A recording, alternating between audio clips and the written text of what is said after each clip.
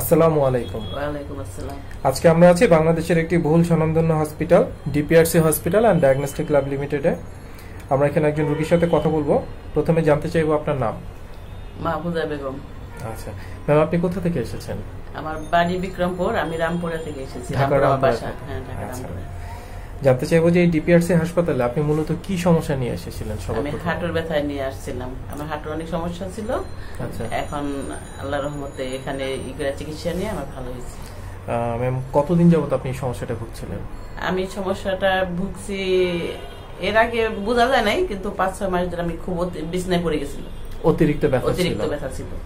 আচ্ছা এটার কারণে মানে আপনি হাঁটতেও পারি নাই হাঁটতে পারেননি সিঁড়িতে ওঠানামা থেকে শুরু করে কোনো কিছু আপনি করতে করতে পারছিলেন পারি না। না বেডে থেকেও নিচে নামতে পারিনি। মানে অন্যের সাহায্য ছাড়া আপনি ওয়াশরুম বা কোথাও আপনি যেতে পারছিলেন না এরকম একটা অবস্থা হ্যাঁ এরকম অবস্থা হয়েছিল। একটু জানতে চাইব যে এই ডিপিআরসি হসপিটাল আপনি কোন ডক্টর সাহেবের আন্ডারে ভর্তি ছিলেন? ডক্টর মোহাম্মদ শহীদুল্লাহ শফিউল্লাহ প্রধান। শফিউল্লাহ ডক্টর শফিউল্লাহ প্রধান ওনার আন্ডারে ট্রিটমেন্ট করেছেন। আজকে কতদিন যাবত ট্রিটমেন্ট করছেন? আজকে পনেরো দিন। আজকে পনেরো দিন। সো আপনি কিছুক্ষণ আগে আপনি বলেছেন যে আপনি এখন অনেকটুকু সুস্থ। হ্যাঁ। তো আপনি কি ভেতর থেকে সম্পূর্ণভাবে সুস্থতা বোধ করছেন? হ্যাঁ আমি তো মনে করতেছি আপনি হাঁটা চলা সবকিছু হ্যাঁ, আগের মতো করে করতে পারছেন? হ্যাঁ হাঁটা চলা করতে পারতেছি আগের মতো। আচ্ছা। তো জানতে চাইব যে এটার কারণে কি এর আগে কি আপনি কোথাও এর চিকিৎসা করেছিলেন? হ্যাঁ চিকিৎসা করছি। আরও দুই দিন ডাক্তার দেখাইছি তারা বলছে অপারেশন করতে। তারা অপারেশনের জন্য আপনাকে সাজেস্ট করেছেন। কিন্তু আপনি সেটা না করে আপনি এখানে এসেছেন। আচ্ছা জানতে চাইব যে আপনি এই ডিপিএস হসপিটালের ঠিকানাটা কীভাবে জানতে পেরেছিলেন আমি ইউটিউব থেকে জানতে পারছি। ইউটিউবের মাধ্যমে জানতে পারেন। তারপরে কি আপনি সিদ্ধান্ত নেন যে আপনি ডক্টর শফিউল্লাহ প্রধান ওনার কাছে এসে আপনি ট্রিটমেন্ট করবেন? হ্যাঁ আমি তারপরে সিদ্ধান্ত নিই। এখানে এসে ট্রিটমেন্ট করব। কিন্তু কেউ রাজি ছিল না আমার উদ্যোগে আমি আসছি। আপনি আপনার নিজের উদ্যোগে হ্যাঁ। এসেছেন। এখন কি মনে হচ্ছে যে আপনি আপনার নিজের উদ্যোগে এসে আপনি সঠিক সিদ্ধান্ত নিয়েছেন না ভুল সিদ্ধান্ত হ্যাঁ সঠিক সিদ্ধান্তই নিয়েছি। আচ্ছা। আচ্ছা জানতে চাইব আপনি যতদিন এই ডিপিআরসি হসপিটালে ট্রিটমেন্ট নিয়েছেন এখানকার যারা ডাক্তার ছিলেন নার্স ছিলেন বা ম্যানেজমেন্টে যারা ছিলেন তারা কি টাইম টু টাইম আপনার সব ধরনের ট্রিটমেন্ট নিশ্চিত করেছে? আপনি কি সবটুকু পেয়েছেন টাইম টু টাইম হ্যাঁ টাইম টু টাইম সব ধরনের চিকিৎসা আমি পাইছি সব ধরনের সেবা পাইছি। তাদের আন্তরিকতা কেমন ছিল আপনার ট্রিটমেন্টে। সেটার কারণে আপনি কি মনে হয় যে আপনি সম্পূর্ণ সুস্থতা পেয়েছেন আজকে? হ্যাঁ হ্যাঁ।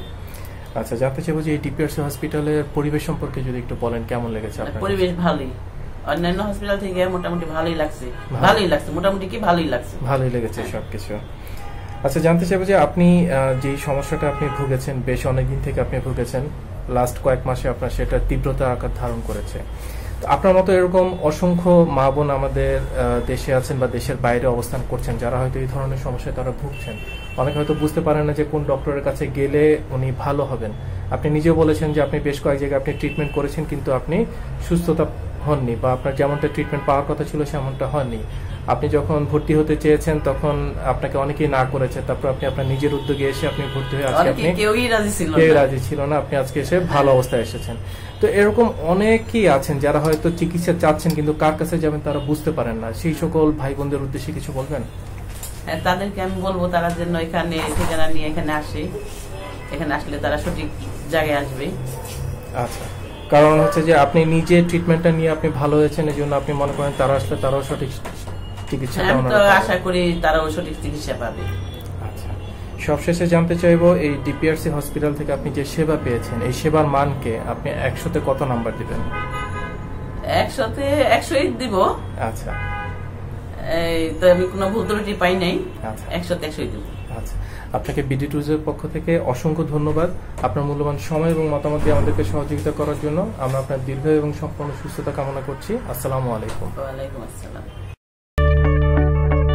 আমরা জানি আপনার প্রিয়জন আপনার জন্য কতটা গুরুত্ব বহন করে। প্রপার ডায়াগনোসিস কনসালটেশন পেইন ও প্যারালাইসিস চিকিৎসা পুনর্বাসন আমাদের সব আয়োজনই সব সময় আপনাদের জন্য চব্বিশ ঘণ্টা খোলা। আমরা চাই না আপনারা বারবার আমাদের কাছে ফিরে আসুন তবুও আমরা আছি সব সময় সর্বদা আপনাদের পাশেই। ডিপিআরসি হসপিটাল লিমিটেড আস্থা বিশ্বাস ও নির্ভরতায় অবিচল।